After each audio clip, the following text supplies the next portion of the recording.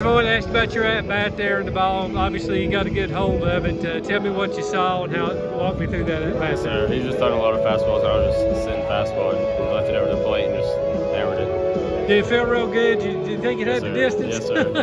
Yeah, yeah. Tell me why y'all were able to, to stay so uh, focused at the plate even when the lead got big. Y'all just kept putting it in play. Yeah, we always just like no matter the score, we're always just hitting it. And we're down, we're just still hitting it. If we're up, we're still hitting it. Just never stop, never quit.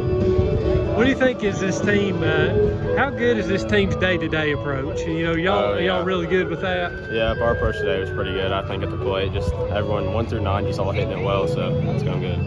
All right, thank you very much. Thank you. Appreciate it.